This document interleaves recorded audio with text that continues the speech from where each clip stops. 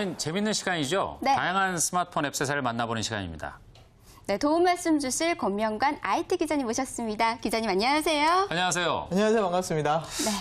불과 1년 전만 해도 이 앱 세사리 하면 사실상 많은 분들이 좀 낯설어 했는데요. 네. 얼리아답터들만 아시고. 음, 근데 요새 점점 많은 분들이 사용하기 시작하는 것 같습니다. 어떤가요?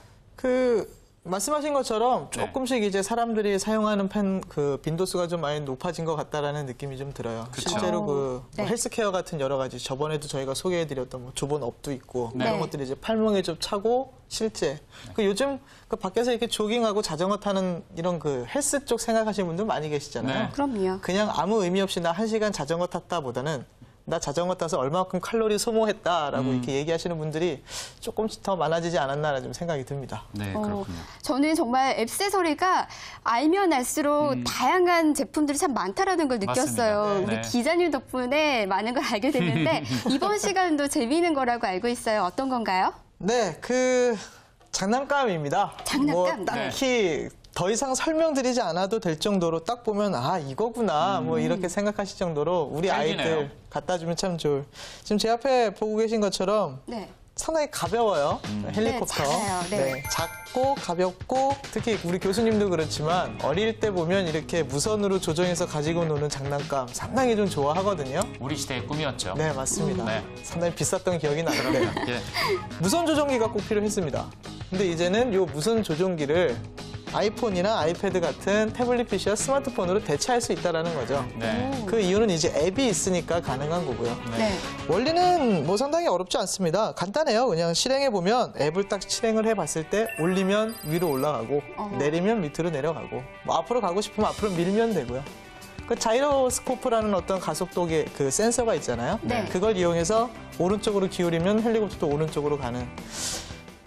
잘 되지는 뭐 이따가 한번 해봐야겠지만 네. 상당히 그런 그 앱세서리라고 볼 수가 있어요. 어, 이야기를 들으니까요. 안 보면은 안 될 것 같은 생각이 들거든요. 그러게요. 네. 보면서 이야기 나눠볼 수 있을까요? 그럴까요, 한번? 네, 그 네. 일단은 요 본체 상당히 좀 가볍다고 말씀을 드렸죠. 그래서 네. 뭐 불이 나오는 어떤 이런 LED도 있고 아, 그리고 이제 요게 따로 필요합니다. 그게 뭐죠? 수신기예요. 아, 사실 요 네. 아이폰에서 연결할 수 있는 어떤 그 커넥트할 기기는 없거든요. 아이폰과 음, 이 그렇죠. 헬리콥터 간에 맞습니다. 이게 그 중계기 역할을 한다고 보시면 돼요. 연결해주는. 네, 네. 딱 보면 3.5mm 해서 여기 꽂으면 연결이 이어폰 쪽에 되고요. 꽂으면 그리고 하나 그 볼륨을 좀 최대로 키워 주셔야 돼요. 볼륨이요? 아? 이유가 있을까요? 볼륨을 좀 낮았을 때는 그 신호가 약해져서 그 아. 중계가 제대로 안 되는 경우가 좀 있거든요. 네. 그래서 볼륨을 좀 최대로 키워주고 앱스토어나 이런 데서 보시면 아이 헬리콥터라고 검색을 해보시면 앱이 네. 바로 뜰 겁니다. 자, 앱을 실행을 하면 화면이 보이고 그고 버튼이 있어요. 바로 누르면 요 모델 4개를 선택할 수 있는 화면이 나옵니다. 아, 헬리콥터가 종류가 있는 거군요. 그렇죠. 종류가 좀 다양히 있어요. 어떤 거는 이렇게 플라스틱 미사일도 쏘는 것도 있고. 우와. 아, 그래요? 네. 정말 재밌겠는데요? 요거는 약간 그 불이 좀 나오는 아, 그런 게 있거든요. 그래서 레이저가 나오나요? 뭐 아이언맨처럼 녹이지는 않습니다. 네. 그래서. 그 아까 전에 네 개 화면에서 헬리콥터를 선택을 하면 다음 화면으로 이제 그 딱 봐도 조종할 수 있는 어떤 음, 조종 화면이 나오죠. 컨트롤 네. 패드가 왼쪽 패드는 이제 올리면 올라가는, 거고요. 네. 요 오른쪽 패드는 앞으로 가면 앞으로 가고 아, 네. 뒤로 뒤로 가면 뒤로 가고 뒤로 그리고 그 요 위에 보면 불이 켜지는 게 있어요. 이걸 누르면 이제 불이 켜지고 아, 불이 아까 꺼지는 거고. 반짝반짝 효과를 낼 수 있다는 거죠? 네. 네. 그리고 이제 오프는 마찬가지 지금 꺼져 있는 상황이라는 거고 네. 온으로 바꿔주면 켜지는 거고요.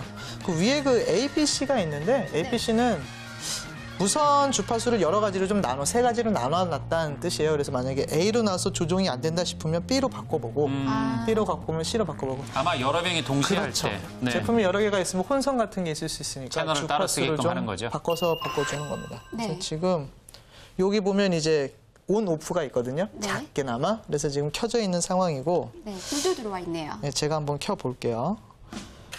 우와! 이렇게 하면 그런데요. 위로 하면 날아가는 거고요. 오, 정말 굉장히 높이 올라가네요. 뒤로 한 번 오고 네. TV라고 한다면 네. 그 지금 불이 이렇게 좀 반짝이고 뭐 이런 것도 있지만 그 뒤쪽에 보시면 날개가 두 가지가 있어요. 꼬리 날개. 헬리콥터에서 네. 가장 중요한 부분이잖아요. 이 오른쪽 패드가 그 꼬리 날개를 컨트롤하는 겁니다. 그래서 아, 네.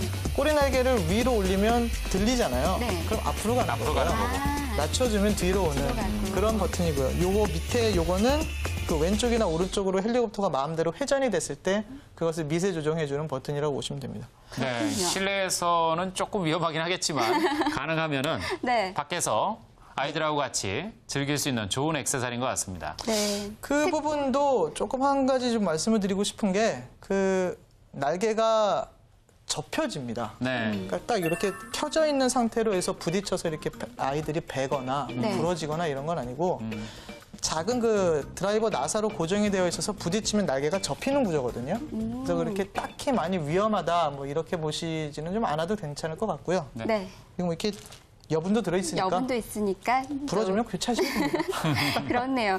요즘 참 야외 활동하기 편한 그런 날씨잖아요. 맞아요. 그럴 네. 때이 액세서리 들고 멋지게 추억 남기는 것도 좋을 것 같습니다. 네, 맞습니다. 네, 오늘 재미있는 액세서리 소개해 주신 권명가 기자님 고맙습니다. 감사합니다.